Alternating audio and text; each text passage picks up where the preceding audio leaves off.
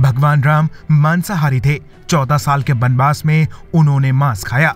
जो गंदगी कभी बॉलीवुड ने नहीं फैलाई, अब वो साउथ सिनेमा फैलाने पर जुटा है। साउथ की सुपरस्टार एक्ट्रेस नयनतारा की फ़िल्म देश भर में जहर फैला दिया है।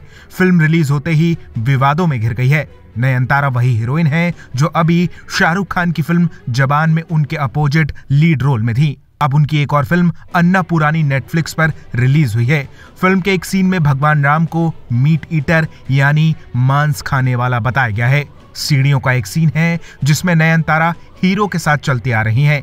हीरो संस्कृत में एक श्लोक कहता है और बोलता है वाल्मीकि ने रामायण में कहा है, जब वनवास में भूख लगी, तब राम, सीता और लक्ष्मण ने जानवरों को मारकर पका कर खाया था। रामायण में भी लिखा है कि उन लोगों ने नॉनवेज खाया था। राम तो विष्णु जी के ही अवतार है ना?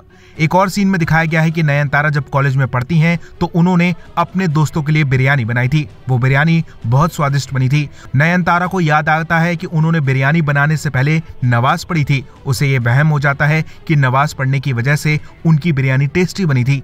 इसलिए वो कुकिंग कॉम्पिटिशन में हिस्सा लेने से पहले भी नवाज़ पढ़ने चली जाती है, ताकि वो टेस्टी खाना बनाकर कॉम्पिटिशन जीत जाए। लेकिन फ़िल्म में नयनतारा हिंदू दिखाई गई है। अब इस सीन को लेकर भी बवाल कटा हुआ है।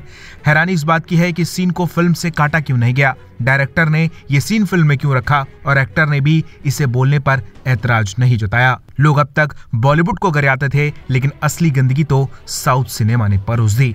वेल आप क्या कहेंगे इस पर? अपनी राय हमें कमेंट में दीजिए। और ज़्यादा ऐसी अपडेट्स के लिए बॉलीवुड पे चर्चा को सब्सक्राइब कीजिए।